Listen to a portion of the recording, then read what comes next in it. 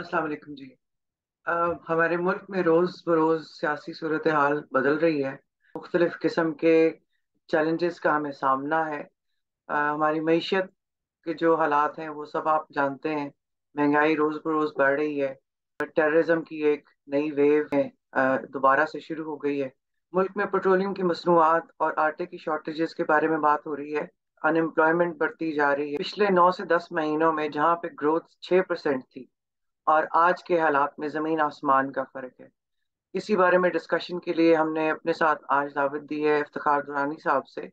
उस पर उनकी राय लेते हैं कि क्या ये सारी सिचुएशन जो है, ये इन, इस इम्पोर्टेंट गवर्नमेंट की अपनी इनकॉम्पिटेंस की वजह से है, या यह एक सिस्टमेटिक तरीके से मुल्क को डिस्टेबलाइज करने की कोशिश की जा रही है। सर बहुत बहुत शुक्रिया प्रोग्राम में हमारे साथ आज शामिल होने के लिए। आपको क्या लगता है कि ये इनकी इनकॉम्पिटेंस है इस इम्पोर्टेड गवर्नमेंट की? या ये एक कोई खास तरीका है आ, आ, मुल्क जिस तरह जिस तरफ़ जा रहा है इस वक्त? आप क्या कहते हैं? बिस्मिल्लाहिर्रहमानिर्रहीम जी। ये जो है अगर आप मुल्क और कौम को रीड करें ना जितनी भी आपकी वेस्टर्न कंट्रीज़ हैं जो कि वर्ल्ड रीड करते हैं ना जो इंटरनेशनल रिलेशंस को डील करते हैं तो यूजुअली जो है वो फॉल्ट लाइंस जो होते हैं सोसाइटी के, वो उनके पास होते हैं। स्टडीज़ भी होती हैं। 2011 में ना एक स्टडी हुई थी जो यूनिसेफ ने कराई थी, उसका नाम था social cohesion and resilience exercise ये non for this was not non for circulation थी। वो न्यूयॉर्क में हेडक्वार्टर के लिए हो रही थी। वो बेसिकली 11 मुल्कों में ना उसका क्या नाम था कॉन्फ्लिक्ट असेसमेंट वो बताते हैं आपको कि जी आपके डिवाइडर और कनेक्टर सोसाइटी के क्या होते हैं। तो यूजुअली आपके पास जो डिवाइडर एंड कनेक्टर्स हैं, वो डिफाइंड होते हैं हर सोसाइटी के और वेस्टर्न वर्ल्ड इस पे बड़ा काम करती है। हमारे यहाँ थर्ड वर्ल्ड कंट्री में ऐसा काम बहुत कम होता है, ऐसी रिसर्च बड़ी कम होती हैं। उसमें आपका जो गवर्नेंस स्ट्रक्चर है, वो भी डिफाइन होता है। अच्छा और केपेबिलिटी भी डिफाइन होती है।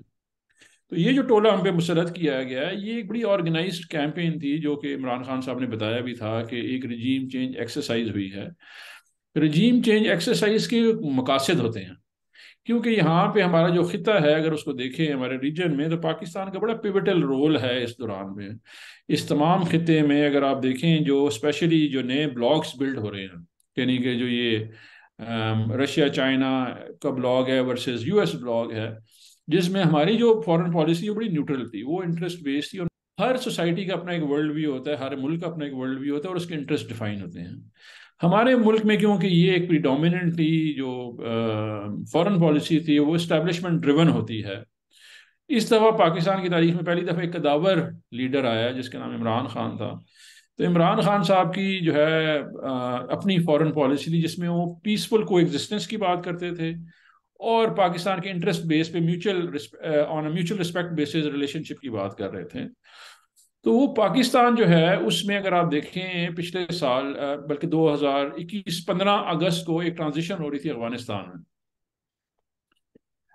अमेरिका का ये ख्याल नहीं था कि वो ये खिता छोड़ेगा। किसी तरीके से भी उनकी एग्जिस्टेंस नहीं होगी। उनको नज़र आ रहा था कि इजी जो स्पेस अवेलेबल है, वो पाकिस्तान है, जहाँ पे हम रह के अफ़गानिस्तान को इस रीजन को मॉनिटर करेंगे। क्योंकि नेचुरली उनकी हेजमोनिक जो डिज़ाइन होते हैं, बड़ी मुल्कों के, वो ऐसे ही डिफाइंड होते हैं। अच्छा उनकी किस्मत ऐसी थी कि आगे इमरान खान साहब ने इमरान खान साहब ने उनको ना कर दिया कि जी, मैं किसी जंग के हिस्सा नहीं बनता। और यहाँ पे regime change exercise in place होगी, क्योंकि आप जो है नहीं एक्सेप्ट करते। अमेरिकन अपना जो अगर कोई बात नहीं मानी जाती तो उनका इन्फ्लुएंस है। एक किताब है डैनियल मर्कर की, जिसमें कहते हैं नो एग्जिट फ्रॉम पाकिस्तान तो नो एग्जिट पाकिस्तान में वही डिफाइन करता है कि डीप स्टेट जो है, उसमें इतनी इंग्रेस है उनकी कि वो अपना पाकिस्तान छोड़ नहीं सकते। और उनके मफादात का ख्याल किया जाएगा।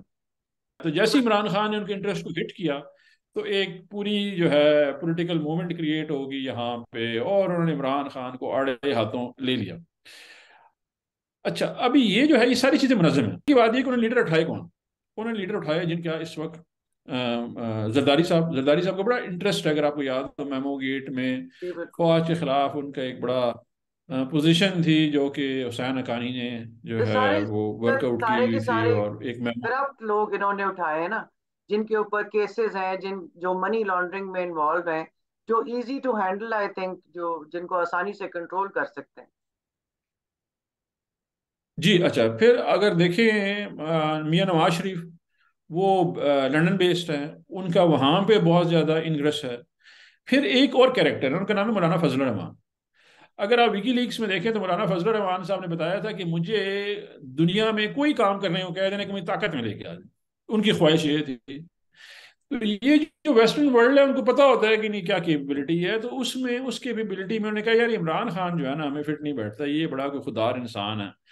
और सीधी बात भी कर देता है और ये हमें हमारी बातें भी नहीं मानता तो इसको फारिग कर दी जाए। उन्होंने जब फारिग किया तो उसके बाद उन्होंने एक सिनेरियो क्रिएट करना था। क्या था? सिनेरियो ये था कि आपने मुल्क को उस दहाने पे लेके जाना है, उस जगह पे लेके जाना है, जहाँ पे आपकी तमाम ख्वाहिशात जो है मानी जाए। वो ख्वाहिशात कौन सी हैं? कि जब आप खत्े में उनकी जो है अमलदारी या उनका जो स्टेक है, उसको आप रिकग्नाइज कर देना। हमारे पास जब फ्रिजाइल इकोनॉमिक स्टेट होता है और फ्रिजाइल सिक्योरिटी के सिचुएशन होती है तो look up to the western world exactly वो सिनेरियो भी पाकिस्तान में है कि आप you are looking towards United States and IMF के लिए हमें बेल आउट कर दें।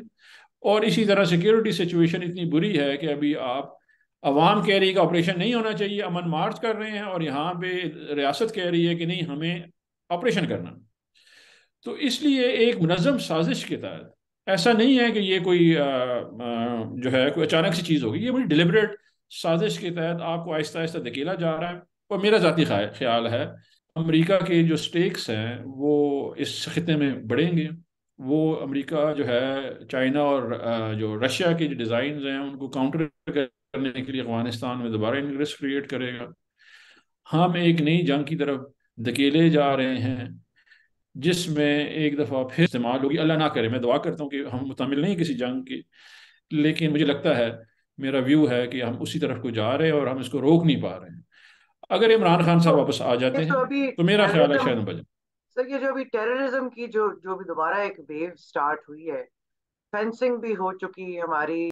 अचानक ये दोबारा से जो है वेव स्टार्ट हुई है जिसकी समझ नहीं आ रही। मतलब ये जो शावर का बॉम्ब ब्लास्ट था, इसका मैग्नीट्यूड भी बहुत बड़ा था। लोग कहते हैं कि सुसाइड बॉम्ब नहीं था, कुछ कहते हैं कि है। डू यू थिंक इम्पोर्टेंट चीज़ ये कि जो नेटो है, उसने खुद मुजाकर तालिबान के साथ किए। ये नहीं है कि, देखिए ना उन्नीस साल जंग लड़ने के बाद वो वापस मुजाकर की टेबल पे चले गए। हमने भी उनको कहा कि वो लोग जो यहाँ से नकल मकानी करके चले गए हैं और आईने पाकिस्तान की को तस्लीम करते हैं और पीसफुल रहते हैं उनको वापस लाया जाए। अच्छा यहाँ पे बड़ा इंटरेस्टिंग पार्ट ये है। इस गुफ्तु के दौरान ही हमारी हुकूमत चली गई है। हमारा हमने कुछ भी नहीं किया हुआ यहाँ पे। इमरान खान ने बड़ा ज़बरदस्त व्यू पॉइंट रखा हुआ है। ऑन टर्म्स की जी जंग हल नहीं है इस चीज़ का। ये पॉइंट वन है। अच्छा अभी पीडीएम उसको ना पॉलिटिकल गेन क्रिएट करती है। इनको खत्े का कुछ पता नहीं है। ना इनको समझ है खत्े की। एक लीडर जो इस वक्त आपके पास मौजूद है उसका नाम इमरान खान है। जो सातों अजला में जो एजेंसियाँ हैं वहाँ पे उस वक्त गया जब वो फटा था और वहाँ से किताब लिखी। उनको इतनी समझ है इलाके की। ये जो वाक़ हुआ है इस पे बड़े सवालिया निशान हैं कि सात मराइल हैं किसी भी सुइसाइड बॉम्बर को क्रिएट करने। में from recruiting to indoctrination to training to buying equipment कैसे होगा, फिर रैकी है, फिर जाके और उसकी रिकॉर्डेंस टारगेट आइडेंटिफिकेशन है, फिर रैकी है टारगेट आइडेंटिफिकेशन है लास्ट इज़ दी ब्लास्ट सात मराइल से गुजर के आया। सबसे जो सिक्योर जगह थी, उसके ऊपर उसने अटैक किया और वो तमाम जगह क्रॉस करके आ गया। तो काफ़ी सवालिया निशान हैं, जिसमें मेरा ख्याल है कि जो मौजूदा हुकूमत है, उनकी नाकामी है, क्योंकि अगर मुराद सईद को सुने ना जी, मुराद सईद ने जून में कहना शुरू कर दिया था कि जी, यहाँ पे सूरत हाल ठीक नहीं है। यहाँ पे इस वक्त दहशत गर्दी का ख़तरा है। तो ये जो वज़ीर दाखिला है, इसने कहा कि झूठ बोल रहा है। टीवी पे ये रिकॉर्ड मौजूद है। आप सुन लें इसको दिखा भी दें आवाम को कि जी, ये कह रहे हैं झूठ बोलता है मुराद सईद। ये ऐसी कोई बात ही नहीं है। फिर करते करते ये चार माह मुसलसल बोलता रहा। उसके ऊपर इन्होंने पंद्रह पर्चे किए बगावत के, मुराद के ऊपर, क्योंकि सच बोल रहा था। और अभी जब हो गया तो वो कह रहे हैं कि जी तो हालात जो हो गए हैं और हमें ऑपरेशन करना चाहिए। देखिए नवीदा, बात यह है कि इस इलाके ने ना, स्पेशली ये सात अजला हैं जो कबायली इलाका जात के, इन लोगों से हमने नकल मकानी कराई रदुल फसाद में। ये सालों साल अपने घरों से बाहर रहे।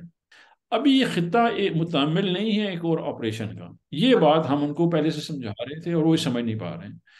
तो ये जो सवाल है आपका, इसका जवाब तारीख बताएगी कि ये हमला अचानक कैसे हो गया, इतने बड़े पैमाने पे, और लोग कैसे पहुँच गए, और कौन कौन से जो है उसमें अवामिल शामिल हैं। टीपीपी का कोई एक फैक्शन है, जमातुल हरार जो है वो कह रहा है कि जी हमने किया है आई डोंट नो उन्होंने की मतलब वो क्लेम कर रहे हैं। आगे हकीकत खुल जाएगी जी इसकी। ज़ाहिर है अमेरिका अपने मकासद में इंटरेस्टेड है और हमारी जो इम्पोर्टेड गवर्नमेंट है जो इसके हालात हैं और जिस तरह ये अब कोशिश कर रहे हैं इलेक्शंस को डिले करने के लिए और मुख्तलिफ़ किस्म के हरबे इस्तेमाल किए जा रहे हैं आम, आप आप क्या समझते हैं कि ये जो खान साहब ने अभी इनिशिएटिव लिया है जेल भरो तहरीक का ये एक डिफाइनिंग एक एक एक मूवमेंट होगी हम अपने मकासद हासिल कर सकते हैं या ये मतलब अच्छा एक प्रेशर टैक्टिक्स होगा? और आ, लोगों का किस किस्म का रिस्पांस आप देख रहे हैं? देखिए मैं जो है नवीदा जितना फिर रहा हूँ ना पाकिस्तान में हमारी अवाम हमारी लीडरशिप से बहुत आगे है। ठीक है जी? एक तो जो है ना बड़ा स्टैंडर्ड हो गया है कि जो मिडिल टीयर लीडरशिप है ना जी इनकी उतनी से नहीं रही जितनी पहले थी। अवाम डायरेक्ट कनेक्ट करना चाहती है इमरान खान। वो हर चीज़ के लिए तैयार है। पच्चीस मई को भी तैयार हैं वो। और ये जो इमरान खान साहब की कॉल है ये बड़ी सोच समझ के उन्होंने दी। देखें खान साहब ने सोचा ये कि ये लोग क्या कर रहे थे? ये लोग आपकी एग्ज़ाम्पल क्रिएट कर रहे थे फियर क्रिएट करने के लिए। शहबाज गिल को उन्होंने एक खौफ का निशान बनाने की कोशिश की कि जी ये हो जाता। फिर उन्होंने एक हरबा आज़म स्वाति पे लगाया कि ये ये एक नया खौफ का निशान था कि जी आपके घरों में भी ये हो सकता है बीवियों के पास भिजवा दिया जाएगा आपके घर टूट जाएँगे। तो ये नया एक एंगल था। अच्छा खान साहब जो है, वो मास्टर हैं, देखें। जो अभी सोच रहा होता है ना एडमिनिस्ट्रेटिव बंदा, वो सोच रहा होता है डिफरेंट माइंडसेट से। खान साहब जो है ना, एक स्पोर्ट्समैन है। वो क्रिकेट की दुनिया में रोज़ाना ये प्रेशर लेते रहे। तो उन्होंने उसको बड़े खूबसूरती से उसका जो है, तोड़ निकाला। उन्होंने कहा, जी, हम जेल को यही करना चाह रहे हैं ना खौफ इस तरह क्रिएट करना चाह रहे हैं। उन्होंने बेसिकली उस खौफ को स्ट्रेंथ में बदला by giving this call public जो है, मैं जहाँ भी भी हूँ, शादियों में या मिलने में, जहाँ पे मैं, मुझे मौका मिलता है, अवाम रेडी है जाने के लिए। वो कहते हैं कि जी कुछ करें, इन चोरों से हमारी जान छुड़ा दें। आप जो कहते हैं, हम करने के लिए तैयार हैं। देखें 26 नवंबर को यहाँ पे पिंडी में अवाम तैयार थी। ये इस्लामाबाद के ऊपर ब्लैकआउट था। कंटेनर लगे हुए थे सिग्नल डाउन थे कि ये अवाम इस्लामाबाद आएगी। ये जो वज़ीर दाखिला जो बढ़ के मारता है ये टांगे कहाँ पे टांग रही थी इसकी कि ये अवाम इधर आज समंदर अवाम का आएगा।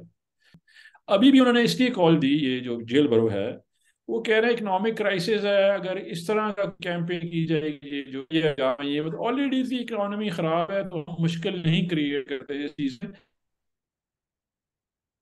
क्या खौफ खत्म करने का कि जिस चीज़ का खौफ दिला रहे हैं आप वो काम करना शुरू कर दें।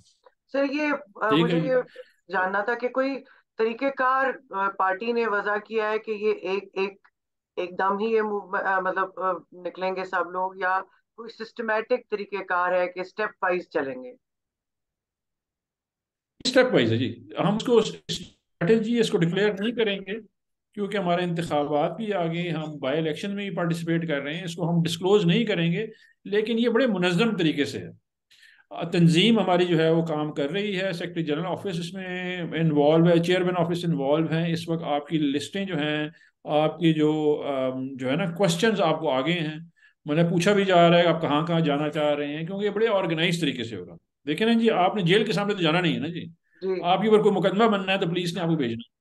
तो वो आइडेंटिफाई होगा ऑर्गेनाइज तरीके से जो लोकल तंजीमें हैं वो इन्वॉल्व होंगी इसमें। सेंटर देख रहा होगा प्रोविंशियल तंजीमें उसके साथ होंगी रीजन की। और आप स्टेप वाइज ये बिल्ड करते रहेंगे क्योंकि अगर आप देखें पाकिस्तान में ना इतनी कैपेसिटी है जेलों में। एट एवरेज जो है अगर बहुत बड़ा जेल सोलह जेलें हैं हमारी। जेलें हाँ तो एक तो 116 जेलें भी अगर आपने लगा लेना सारा लगा लें। और बहुत ही को जिसमें डिस्ट्रिक्ट जेल है और सेंट्रल जेल मिला के जो है अगर आप कर भी दें तो ये मिला के ना ये कोई लाख बंदा भी नहीं बन सकता। ये कैपेसिटी इनकी नहीं है। क्योंकि देखें ऑलरेडी वहाँ पे लोग मौजूद हैं। आपका ये मैक्सिमम लोड जो ले सकता है ना अगर बैरिक्स भी आपको देते हैं ये दस पंद्रह हज़ार से बड़ा लोड ले नहीं सकते हैं लोग अगर आपकी जेल भरो तरीका आ जाए। लेकिन ये जो खौफ का क्रिएट करने की कोशिश करें वो टूट जाएगा। ये राना सनावला कहता है ना जी हम ये कर देंगे वो कर दें। तो इमरान खान ने कहा चलो कर ले हम आगे। हाँ। ये काम इमरान साहब ने उनके साथ कर दिया अब ये फेर नहीं रहा। वो कहते हैं कि जी हम मुकदमे कर देंगे जी मैं तो जेल खुद आ रहा हूँ करें मुकदमे। हाँ लोग भी अभी आप देखें अगर पूरी नून लीग की नहीं नहीं। अगर आप नून लीग की लीडरशिप को देखें ना जी, इनका नैरेटिव देखें, वो बुखलाए हुए हैं। वो कभी कहते हैं कि जी आप अपना जो है बेलिंग कैंसिल करा दें, आप अभी now they are trying to you know figure out क्योंकि आज तक जो उन्होंने, जो जो उन्होंने बोला इमरान खान को ये नहीं कर सकता। खान साहब ने कर दिया इंक्लूडिंग असेंबली रेसोल्यूशन के। अभी उनको ये परेशानी है कि ये सचमुच के जेलों में जब आ जाएँगे तो हम क्या मैनेज करेंगे? इंतबात नहीं होंगे तो उसके बाद ये हम तहरीक शुरू करेंगे। और मुझे उम्मीद है कि जो हमारा नौजवान है पाकिस्तान का, जो मुस्तकबिल है, वो इमरान खान के साथ जुड़ा हुआ है। और उनको कोई खौफ नहीं है इस लीडरशिप से। वो जाना चाहते हैं, ये पीडीएम से बिल्कुल उनको खौफ नहीं है। वो जेलों में भी जाएँगे, इमरान खान के लिए खड़े भी होंगे और उनके साथ भी रहेंगे। थैंक यू बहुत बहुत शुक्रिया रानी साहब। इसी नोट के साथ हम इस वीलॉग का एंड करते हैं। और इस उम्मीद के साथ कि इनशाला पाकिस्तान तरीके इंसाफ जो है वो चेंज की पार्टी है और हम वो चेंज हैं। दुरानी साहब और पाकिस्तान के बहुत सारे लोग जो खान साहब के साथ हैं। अल्लाह हाफिज इमरान खान वो शख्स है जिन्होंने हमें ये बताया कि हक जब दिया नहीं जाता तो हक को छीनना पड़ता है। तो अब जब उन्होंने जेल भरो तहरीक का फैसला किया है तो मेरे सब पीटे सपोर्टर्स से ये रिक्वेस्ट है कि आप सब इस तहरीक के अंदर हिस्सा लें। पहले भी पढ़ते थे कलमा, ला ला ला ला इमरान खान से हम लोगों ने सीखा, उतना हम लोगों ने अपने वालदेन से भी नहीं सीखा, जितना इमरान खान से सीखा। इमरान खान से सीखा कि कलमे पर डटा रहना चाहिए। पाकिस्तान का मतलब क्या?